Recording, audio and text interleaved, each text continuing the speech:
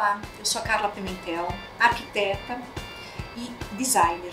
Uh, com a pandemia, com tudo que aconteceu no planeta, o que está acontecendo na vida, no cotidiano da gente, é, as especificações para os projetos, principalmente residenciais, é, eu tenho tido um, um cuidado muito grande.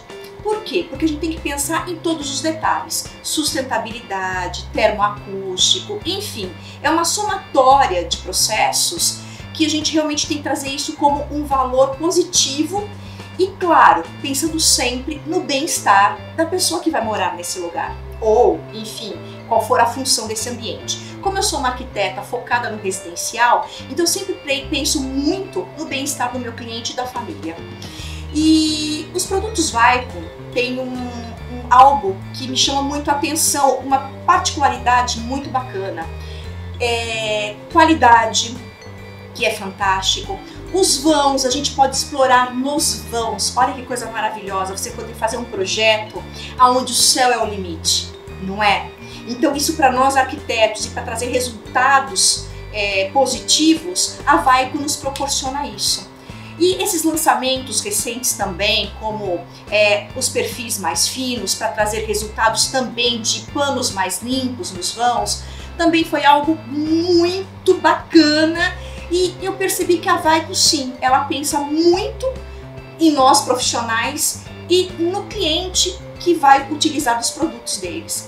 E agora com essa gama do Core Stone, que eu acho que assim é o meu predileto, o meu produto predileto hoje, né, para trazer esse resultado final, sabendo que eu posso usar ele inclusive numa das esquadrias. Se eu quiser pegar uma esquadria e trazer um, um detalhe totalmente diferenciado, eu posso. Eu posso fazer curvas, enfim, com a Vaico o céu é o limite e para nós profissionais isso é maravilhoso. A Vaico ela proporciona também trazer o externo para o interno.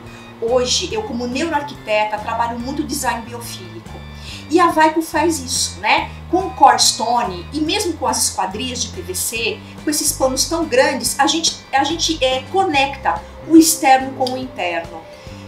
Gente fala em pós-venda da Vaico, eu sou suspeita, porque olha, não tenho uma reclamação. Eu, bom, primeiro que o produto não traz problema, já começa por aí. Então, o pós, é, para você pedir uma assistência técnica é muito difícil. Até porque, quando a gente está executando uma obra, nós temos a Vaico à nossa disposição em qualquer momento se a gente precisar de uma especificação técnica é, acompanhar o nosso empreiteiro também, eles estão sempre disponíveis e vão nos atender. Assim, é, é ligar e a Vaico está presente. Isso facilita muito para nós profissionais na obra.